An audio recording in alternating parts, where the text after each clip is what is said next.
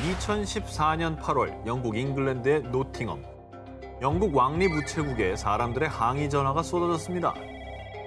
아, 2주가 지났는데 택배가 안 와요. 어떻게 된 겁니까? 수백 명의 사람들이 편지, 소포 등의 우편물을 받지 못한 일이 발생한 겁니다. 저 정도면은 파업한 거 아니에요? 뭐 유럽에는 가끔 뭐 공공기관 파업하잖아요. 어. 그런 거 아닙니까? 그렇게 생각할 수 있죠.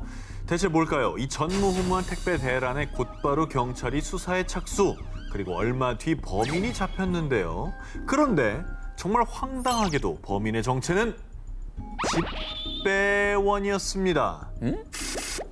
집배원 샌딥싱의 집 쓰레기통과 자동차에서 사라진 우편물들이 발견된 건데요. 아니 배달을 해야 될 분이 이거 뭐 훔쳐서 대체 어디다 쓴 거예요? 아, 훔쳤다고 그를?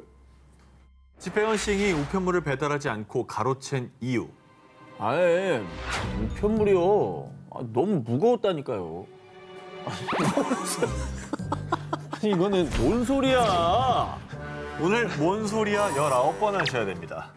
아니 이게 본인의 일이라고 생각해도 가장 기본적인 소양이잖아요. 당연히 그럼- 물건이면 무게가 나가는 거지. 어이가 없네, 어이가 없어.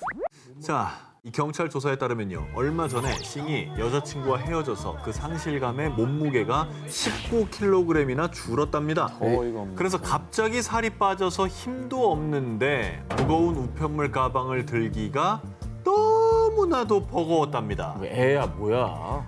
아니 그러면 일을 관둬야죠. 제 말이요.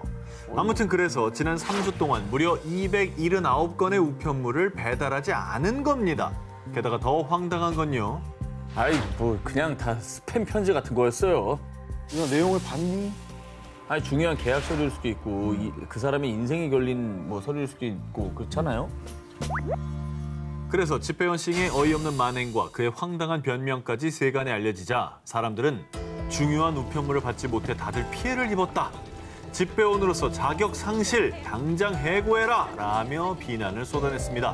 결국 집배원 싱은 이 사건으로 직장에서 해고됐고요. 당연하죠. 2015년 2월 영국 법원은 싱의 우편물 절도와 배달 지연 혐의를 인정. 200시간의 무급 노동과 약 400만 원의 벌금형을 선고했다고 합니다. 힘들다는 이유로 사람들의 우편물을 버린 집배원. 싱, 너 인성에 문제 있어. 꼭 진심으로 반성하길 바랍니다. 코로나19로 인한 언택트 시대에 또 업무량이 또 증가하지 않았겠습니까? 그렇죠. 어떤 택배 업무에 더 고생해주는 전국의 집배원 택배 기사님들께 감사한 마음을 가지게 되는 요즘입니다. 이런 일로 좀 상심하지 마시고 더욱더 힘내시고 더위 조심하시기 바랍니다. 화이팅!